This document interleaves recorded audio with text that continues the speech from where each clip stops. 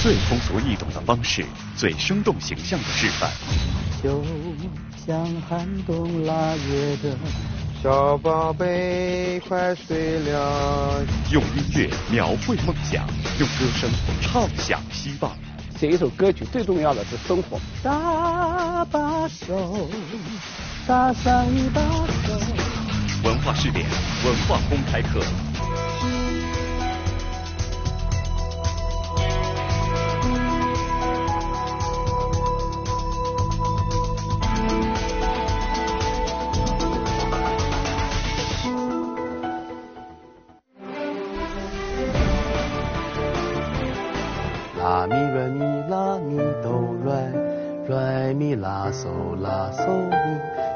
你感觉很简单的一个五声调式的一个小儿歌。就开始的时候唱的，哎呀，街坊四邻都觉得王正正这孩子是不是疯了？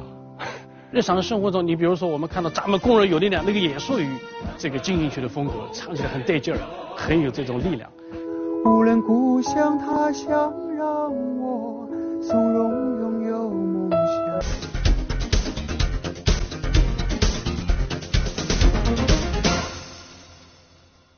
接下来，中国梦主题第二批新创作歌曲推荐嘉宾，歌曲搭把手，作曲舒楠。就像寒冬腊月的暖流，是久旱甘霖的雨后。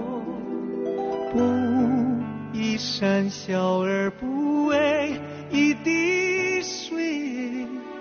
能映出四海无洲。大家好，呃，我叫舒楠。今天呢，我给大家推荐一首歌，是我去年创作的，叫《搭把手》。这首歌是中国志愿者协会的一首主题歌，呃，它的词意特别好。它的词意呢，它的词是我的合作者，也是我的老搭档张克平老师写的。呃，张克平老师，我们之前合作了《建国大业》的主题歌《追寻》，还合作了很多的歌曲。这首歌当时是为志愿者协会创作的主题歌，它呢视角非常低，是说一些特别平凡的人。它的词意很有意思，它的词说：“不以善小而不为，一滴水也能映出四海五洲。搭把手，搭上一把手，人生旅途一起走。”它向我们表达的是生活中有大爱有小爱，就是可能不需要你做多大的事情，但是你只要帮别人一把，比如帮别人推一下车呀。帮别人搭把手拎一拎东西啊，嗯，帮大妈拎一些菜啊，嗯，帮孩子们牵着手过马路啊，就这些简单的小事，其实最能反映我们中华民族的大爱。一滴水也能映出四海五洲，就是这个意思。一善小而不为，一滴水也能映出四海五洲。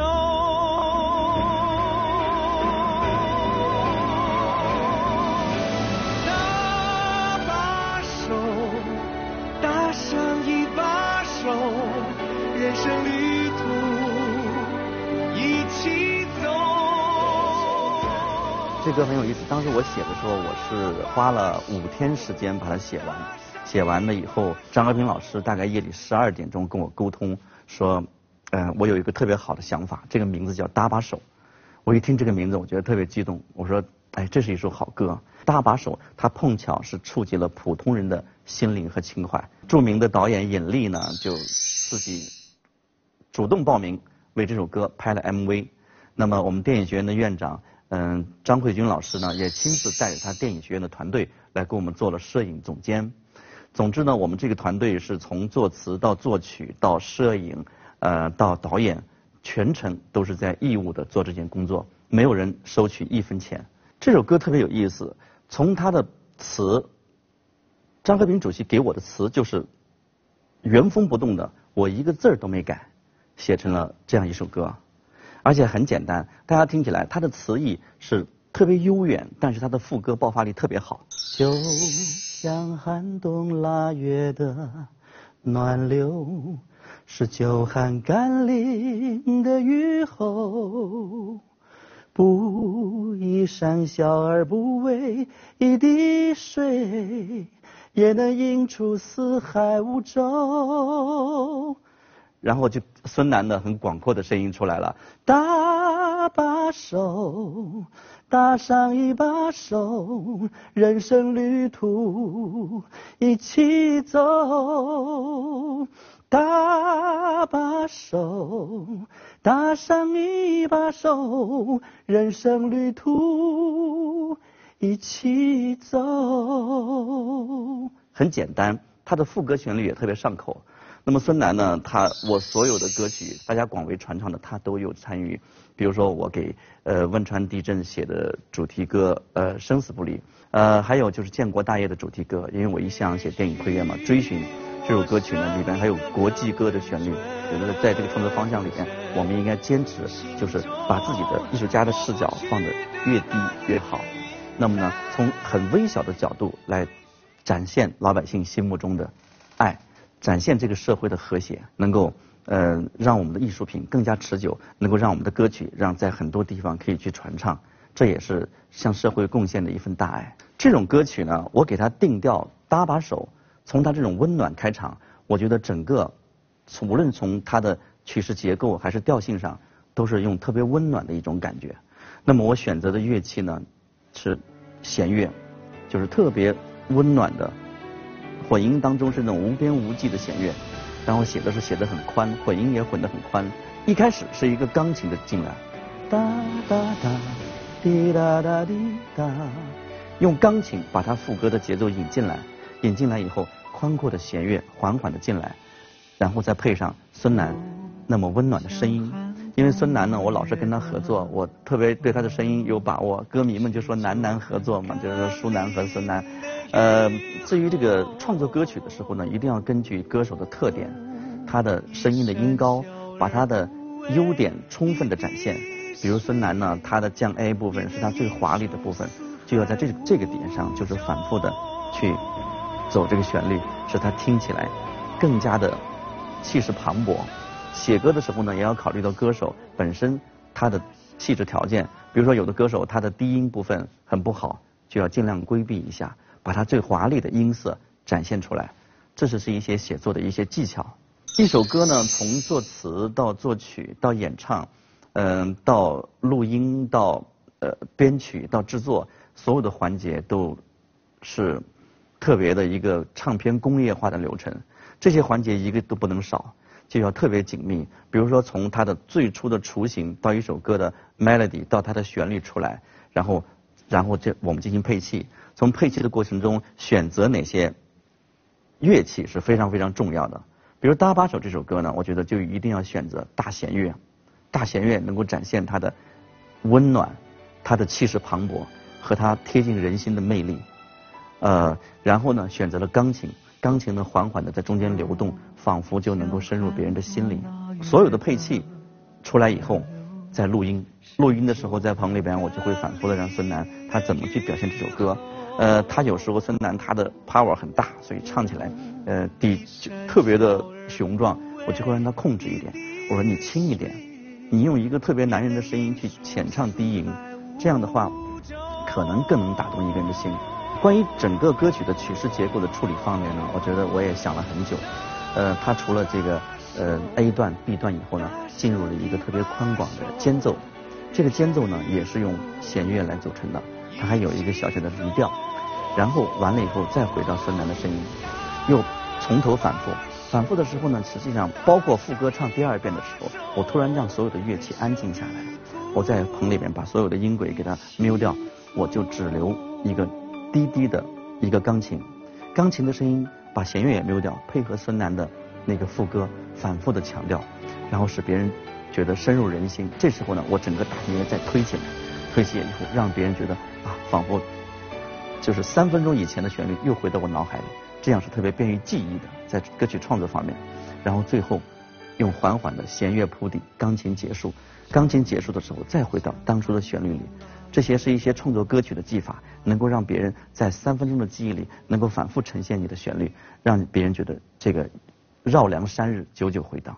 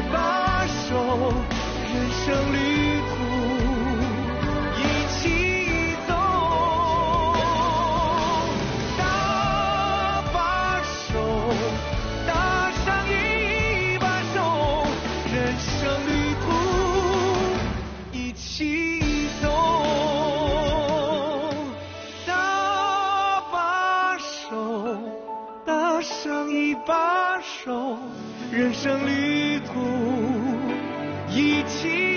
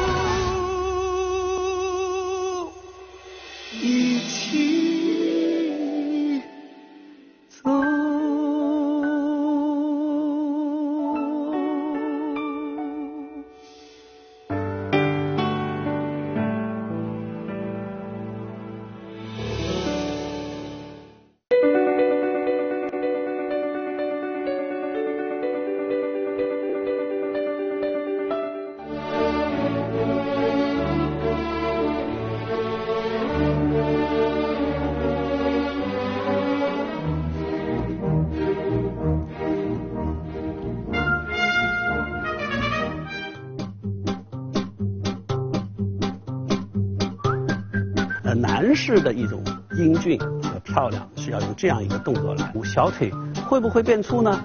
我觉得不会的。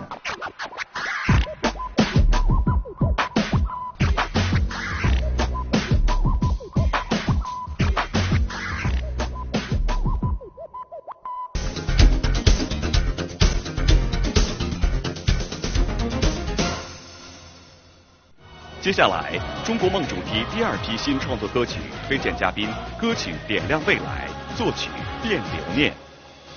时间在追赶未来，脚步跟随梦想加快。大家好，我是卞留恋。那么今天非常有幸跟大家在一起这里聊一聊我们在幕后音乐创作的一些心得。呃，提起这个，我们大家都知道，这个去年南京第二届世界青年奥运会，呃，整个这个到现在，我想可能大家还能够有记忆，因为那届运这届运动会，我们真是感受到了一个一个民族、一个国家和世界的年轻人在这里一起欢聚。对吧？就我是作为幕后吧，所以我说今天要把这些故事跟大家去，哎，给讲一讲。我和这个著名作词家朱海老师共同创作的，叫做《点亮未来》这个曲子，就是给年轻人们写的。所以在这个非常有意思，这个曲子经过了几千首曲子的筛选，最后被选为当时南京青年奥运会的主那个现场的开幕式的主题歌。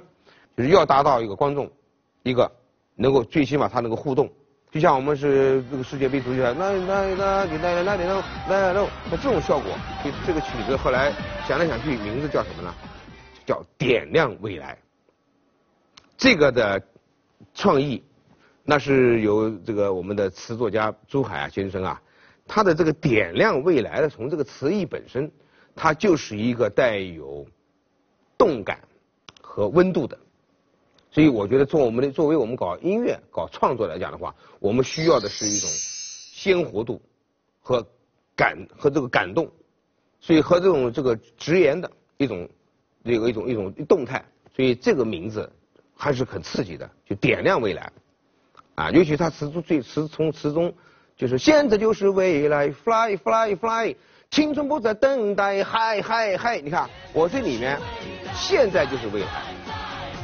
就是告诉你，你现在这时候，你就是代表的啊，今后未来的你，所以你现在不能够这个懈怠，所以现在就是未来，青春不不要不必再等待，就不必等待，就是我们在年轻人这个活力，不光是我们的现在的二十来岁的年轻人啊，是是是呃青年人啊，那么还有包括我们，比如说还有年龄虽然已经过了青春年龄，但是他的心。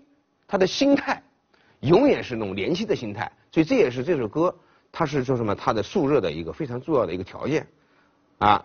你看，我现在就是未来啊，叫 fly fly fly，就 fly fly 就是飞的飞飞的意思。那么青春不再等待，嗨嗨嗨，就是就是它这个嗨嗨是比较嗨的一个一个一个一个动态，所以这也是它的旋律的里面的一个互动的一个我们说的手势。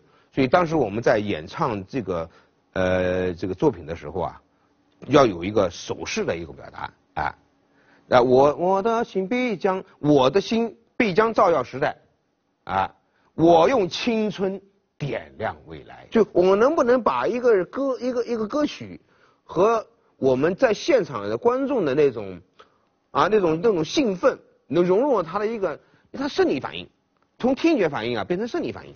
这个是就一个一个一个一个，我认为这个是我们大家做思考的肯定。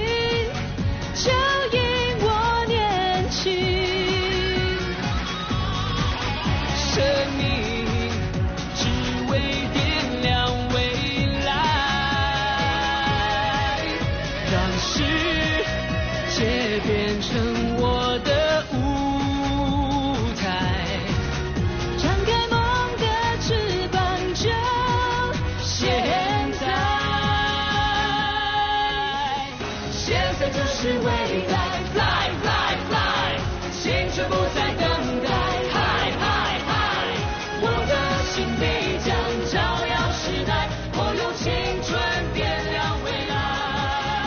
刚才我跟大家说的这么多零零总总、零零碎碎的一些一些小的一些情绪吧，那么我想跟在座的观众朋友们啊，去谈一谈我们创作的一些小的经验。那么你看，我们过去小的时候吧，大家都知道的，大家知道的这个摇篮曲，比如说，小宝贝快睡了，叮叮当当当当。好这个曲子你发现什么了？就是什么三个字，哆来咪咪来哆哆咪来来来哆。我感觉就是什么？这就是说我们的孩提时候的婴儿的。我有个感受什么？第一，婴儿他是生下来以后，他只认谁呢？只认他的母亲，他的父亲，也只知道自己。对吧？所以这就是什么？自己呢？我们在音乐当中啊，叫主音，是吧？啊，叫什么辅音，还叫这个这个这个这个属音和下属音。那么在这个人的人物之间呢，是什么呢？就是他如果说抖是我的话啊，抖就是我，然后呢，妈妈呢就是 re re，然后呢，爸爸呢就是 me，我妈爸 就三个人啊，咚当叮叮当咚咚叮当当当咚，OK，这就是说什么了？这就是一个从孩子生下来以后，他的这个旋律啊就已经开始记住了，就是这个三个音。所以你要唱个咚当叮当滴来，他就不干了。经常经常孩子你要放其他音乐的话，他会哭的。但你放这个音乐的话，小孩子啊，他们的话，他很快就觉得很安全，觉得就很温馨、很温暖。这是说在，尤其是儿歌啊、童谣呀，当当当叮当当叮当叮当当叮当叮当叮当，它这个旋律呢是什么呢？是我认为是顺着人的情绪的那种孩子的那种跳跃的思路来走的。所以我们在创作歌曲的时候啊，我相信在场的每一位观众朋友们，你们都是会作曲的。为什么？因为你们都是有生活经历的人，所以在不同的人生的经历当中，你们每一个的一种表达、一种情感的一种理解。比如说，呃，我们想写一个就是说欢快的，是吧？就当叮当叮当叮当当当叮当当当。当滴当当当滴当滴滴当当滴当当滴当当当，像这种情况的话，它是什么呢？就相当于我写文章一样的，要讲究对句，所以这个是一个非常重要的经验。就是我们讲究音乐创作里面啊，要讲究对句，就是你噔噔噔滴噔噔滴噔噔噔噔噔噔噔噔噔当啊，是吧？所以它要有上句和下句，所以这时候呢，我们在音乐当中呢叫做乐句，所以这个要这个要是一个最重要的一个，就是有了这个乐句以后呢，就会有了乐段。这个乐段一整段唱下来以后啊，是这么一个一个一个表一种情绪。那么还有一个什么呢？叫乐章。要再大的话，这个曲子啊写的再大的话叫乐章。啊，那么再广推广专业化更强的话呢，那么叫那就是那就是一个，比如说一个啊一个一个协奏曲，一个一组啊变奏曲、回旋曲，这是在我们说了在专业音乐当中的一些曲式的一些定位标准，它是不一样的。我认为作这个呢，作为咱们平常的普通的音乐爱好者，你们在写音乐也好，或者唱也好，因为现在高科技发达以后啊，我们不需要好像非要我非要懂谱子，我非要识谱，这个可能没关系。但是我认为你最重要的什么呢？你的情感，你的情绪是是最重要的。所以下次不妨你们可以拿到你们的每个人的手机，比如说我今天晚上我有灵感了。我想记述我我写上我一几句话，写上一个诗啊，写上一个词啊。你对了这个感觉以后啊，你把你把录音机打开，啪，这个手机都有录音系统的嘛。对了，你看到这个词，你可以编一段。哒滴哒滴哒哒哒滴哒哒哒哒哒滴哒哒滴哒哒。你可以按照这个你平常所喜欢的风格，你照着感觉就去，不管了。哎呀，反正这时候没有别人了，什么事儿了？你就自己啊，你躲在被窝里面唱都没人管你的，是吧？这时候你就想怎么去。表达先唱出来以后呢，然后呢再把它给请专业人士啊，可以帮你记下来。我经常会有好多一些一些朋友啊，他们自己也是对这个音乐简直痴迷，但是呢他们不懂乐理，也不懂记谱，所以他经常会拿谱子来拿这个音乐来给我听。我一听哦，来我来把它记谱，把它记下来。那么记下来以后呢，然后我再帮他编曲，我在帮他制作，我在帮他这个配器，我还在帮他演奏和录音。包括整个后期的这个整个全部音乐的这个一个流程啊，最后把这曲子做出来了，哟，他成作曲家了。为什么？因为旋律是他的，是吧？所以这个过程是很有意思的过程。得到一个好作品，第一，他的本身作品的内容；第二个，他的好的最好的一个时间段，他在一个啊啊生逢其时的一个时间段里面；再一个就是你这个作品确确实实。你能够写出写出你的一个人，让你能够感动动容。我认为这个机会是很不容易碰到的，尤其是在九几年，像我写的这个《咱老百姓今儿个真高兴》啊，呃，像这个作品，啊，我要要朋友啊，高兴啊，很高兴啊，这样正，他这种这种欢快是当时的那个时代的一个需要，所有人都需要用一个最最简单、最直接的方法来需要宣宣泄，让老百姓自己感觉到我们老百姓自己的一种快乐的时刻到了。所以当时是在这个一个一个一个时代的一个背景下，我写的这个作品，也是这个应该是最早的中国的音乐的叫 rock 音乐。所以这个作品也是我们当时啊，包括导演组的啦，包括很多写作品朋友啊，我写这作品的时候啊，要怎么样子能够讨这个巧，讨这个时代的巧，要讨这个年轻人和这个大家这种哎春节的巧。要讨这个这个歌词内容呢，要讨这个老百姓的巧，所以这里面很多很多的一些巧啊，放在一起以后啊，这个作品，所以第二天，啪，全社会，整个的这个就就能够被传播出来了。那么这是当时的一个创作的一个经历体会了啊。那么还有一个就是愚公移山，愚公移山到现在还有很多朋友就经常见到我以后跟我握手说，兄弟，你这个作品很爷们儿。很很爽，而且呢，这个作品里面的这个表达的内容啊，很符合这种我们男人的气节，对吧？所以我也是在这个作品当中啊，我也是希望能够能表达一出我们不光是说中华民族气节，也是一种愚公愚公精神，也是希望我们中华民族要有一个这样子，要有个脊梁，要有一个这样子一种不屈不挠的一种坚韧和啊一种一种。一种一种耐耐力吧，我说，因为大家都知道这个寓言《愚公移山》，我们小的时候在课本上都学过这个作品，所以能能不能唱出这个作品的真正的它的一个精神的一种含含义呢？所以我我们当时就是在创作的过程当中的时候啊，我也是思考怎么样子去。首先，第一，音乐的主旋律、音乐的配器和音乐的整体的包装。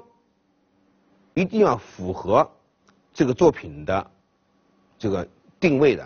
既然这个名字叫愚公移山，那么我们就一定是让感觉到是中国人的，而且是有我们中国人古典文化的，因为我们这是有历史走来的这个语言。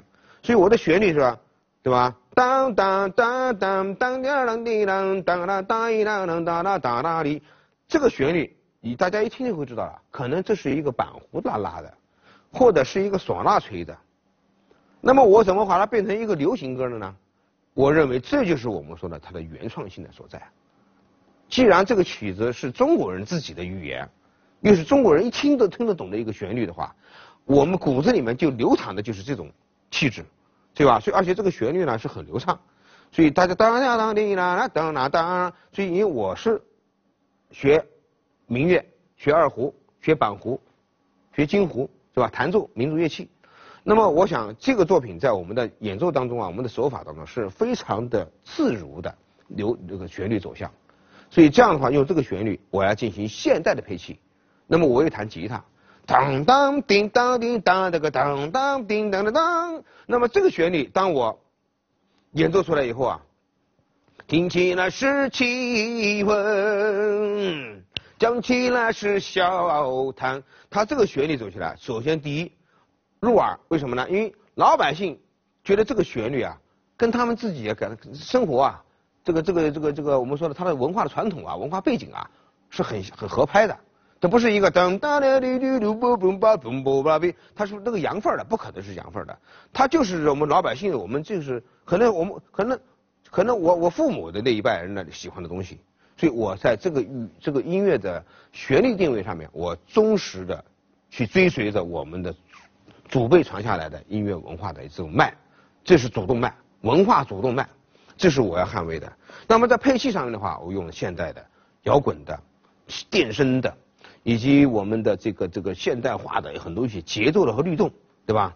咚哒咚啪的，那就接出来的话，中间还有一段板胡，哒哒哒。我就我就后来我发现了，我在那么多年的音乐创作中，能够受到很多朋友喜欢和欢迎的话，我你们都加入了民族乐器的元素，尤其是在像这个过年过节的时候，春节，如果我在我的音乐里面，春节在春节的有些喜庆的音乐当中，我不加入中国民族乐器的特色，像板胡还有唢呐的话，这就不叫过年了。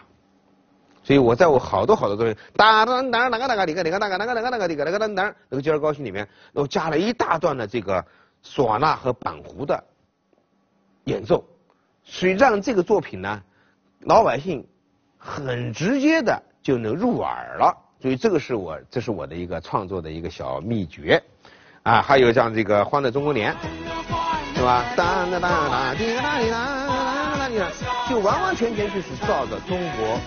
我们普通百姓的那种情绪，他能够听得懂的文化的符号，尤尤其是音乐的符号。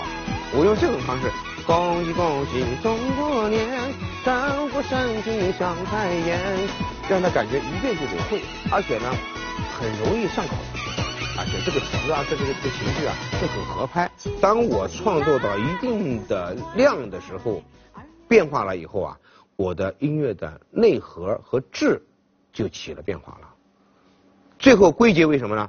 归结为我们这几十年的创作，我们的背后是在在什么？在歌唱这个国家了，在歌唱这个民族了。我认为这一点是我的人生最大的体会，就是我们创作的目的目的啊。刚开始又又又写一个小曲子，写一个小音乐，觉得挺沾沾自喜。最后又有个很荣幸参与了这个活动，这个活动，哎，觉得还挺有挺有这个挺有这个啊这个运气。那么后来发展到以后，你为这个国家去肩负着这么一个使命的时候啊，我觉得这种担当和这种责任和这种使命感就能够又不一样了。就是说，我们能够有幸在我们的人生在艺术生涯当中最黄金的时节。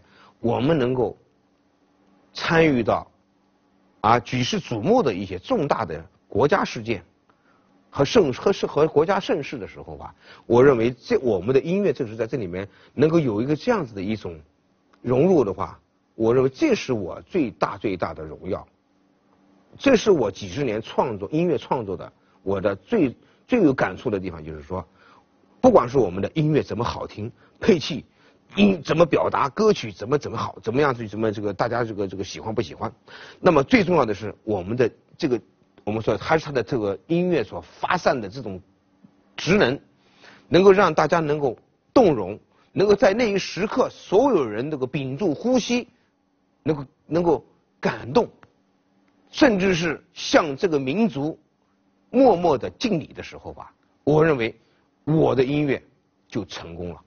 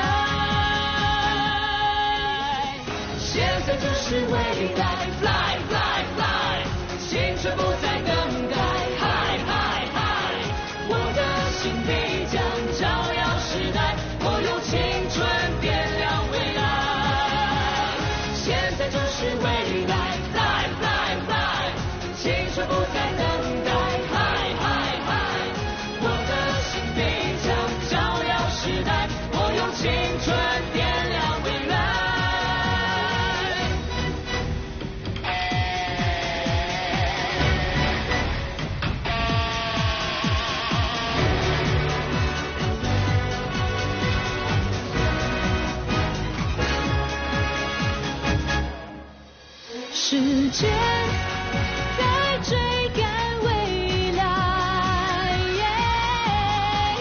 脚步跟随梦想加快，维系生命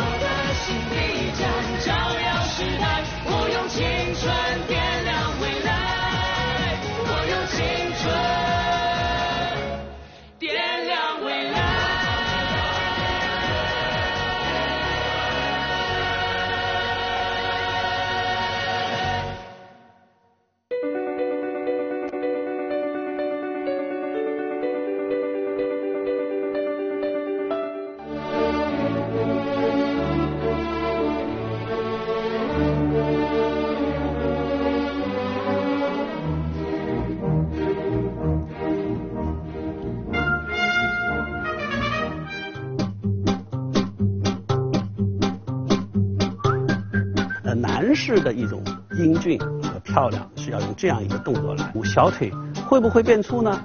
我觉得不会的。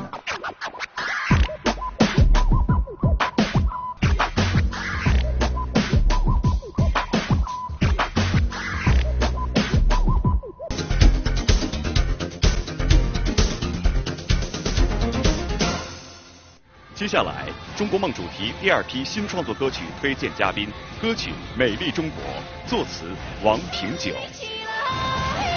富起来，面朝大海，中国春暖花开，一个梦有无限年文明的承载，美丽中国世世代代。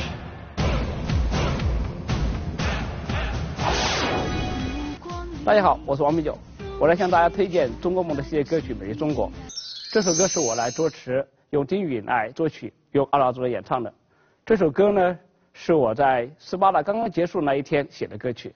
这首歌是当斯巴达的报告里面出现“美丽中国”四个字的时候，哎，我就想写这样的歌曲。等那个报告结束了以后，我的歌词就出来了。然后呢，我第一时间发给了阿卓，发给了那个丁瑜，希望他们看看感觉怎么样。然后呢，丁宇很快就告诉我，这首歌他愿意写这首歌曲，就是这样，这首歌就可能出现了。在这个最大的点呢，我觉得是山绿起来，人富起来，这是最大的亮点在里面。因为其实这是很早是一个人大代表说的话，我就把这话变成一首歌词而已。对我来说，写歌词跟可能跟别人不太一样，因为我是半路写歌出身的。呃，虽然我比如说我写国家、写生生不离、写很多歌曲，都是更多是感受。写一首歌曲最重要的是生活。你如果说做歌是一种艺术，那么生活就是一种艺术概念。很多歌曲幕后的东西都来源于我们的生活的感受。其实生活中的一个对写歌来说，都就是我的生活的概念。因为我经常在呃在生活中，咦，这个歌词比较，这个句话比较好，那我可能可能未来时间就变成一首歌曲来。那么作为一个主旋律歌曲的话，它首先你站的角度、站的思维方式也不一样。那么这个业余歌词怎么大家做写这么多让大家记住的歌词，实际上就是说，好的歌词来源于我们的生活。呃，其实我是学新闻的，就是写歌词和做新闻有点类似的概念。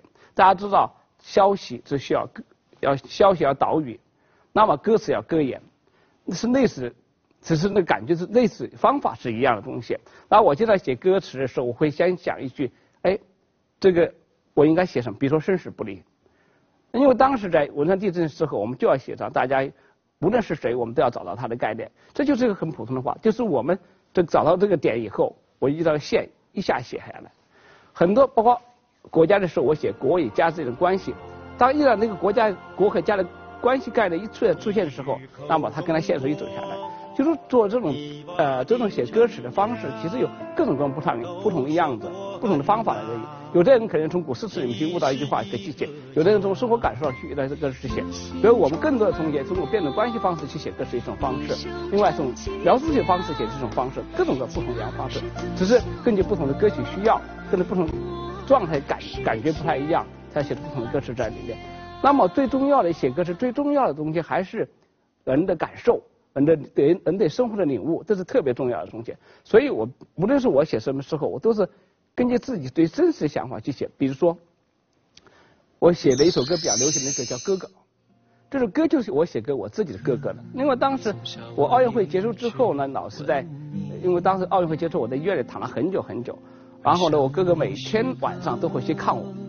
我哥哥呢，我哥哥是比较按照说比较那个。耍酷的那种哥哥的感觉，他是去以后不会去，哎呀，你你怎么生病了，好不好啊？怎么会？他不会这么去问，他每天晚上不管多晚，他都会去。到很晚的时候呢，他就会，有一天大概是去很晚的时候会看我去，我看他背影走的时候，我就写了一个短信，这个短信就是现在的歌词的哥哥，这个很多很多。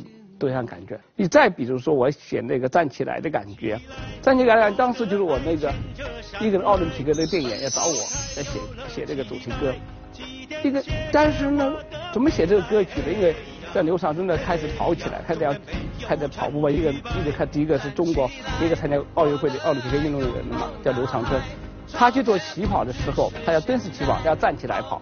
实际上那个站起来瞬间，他除了是奔跑的姿势之外，更重要的还是我们一个国家一个民族的在奥林匹克运动场上站起来，所以这种感觉是双层意在里面。做歌词为更多的是来源于是生活的概念，而不是真的是你不千万不要去拽文字，拽文字基本上就歇菜了。其实我就是这样，慢慢误打误撞的追，慢慢再从零八年开始，一慢慢慢慢的写过来。《美丽中国》这首歌，第一句就是三绿起来跟富起来放在最开始。这一下子就能抓住美丽中国是什么概念？一下子回答了概念，开始就回答啊，那为什么在往回倒的时候再讲为什么是三富起来三绿起来又富起来才是美丽中国的概念？这种东西，这首歌曲在这样倒装的过程给大家听，先答案告诉大家，然后再告知过程，只能跟老百姓看，哎，这话说的挺靠谱的，是大家心中想说的话，这样的话就能抓住老百姓传承的重要东在里面。我觉得最得意的两句话，可能就是最普通的两句话，最想不到的两句话，就是。三女教育父亲，就是其他的歌曲对我来说，其他所有的歌歌词来说，对我都不是最重要的。就是我认为最能抓住老百姓的歌，就是那一句一句歌词。如果说一个一首好歌里面有一句歌词能打动所有的人的话，他就终于成功了。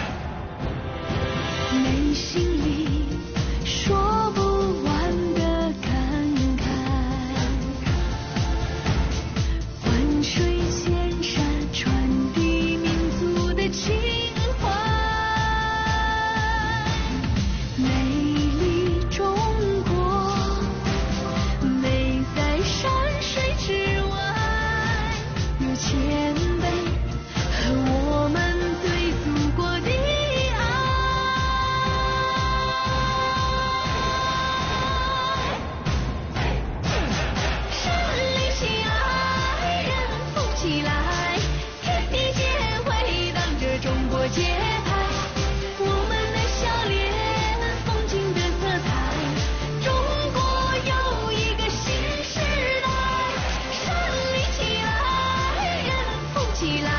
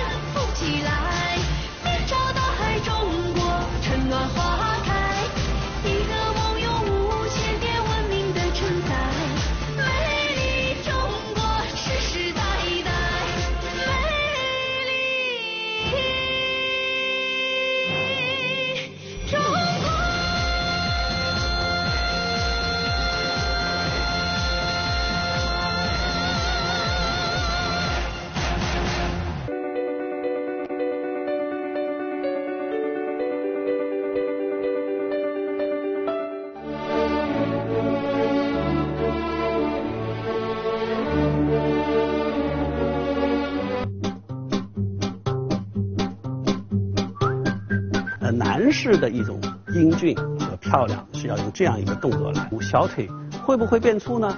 我觉得不会的。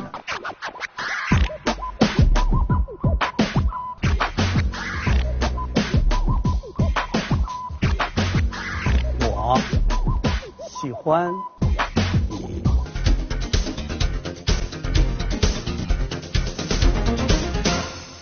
最通俗易懂的方式，最生动形象的示范。就像寒冬腊月的小宝贝，快睡了。用音乐描绘梦想，用歌声唱响希望。写一首歌曲最重要的是生活。搭把手，搭上一把手。文化试点，文化公开课。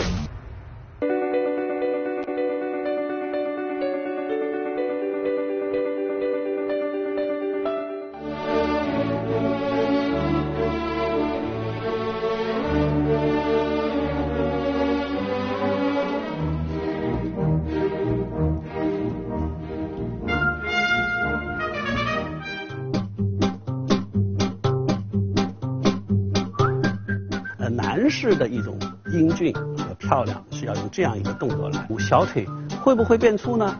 我觉得不会的。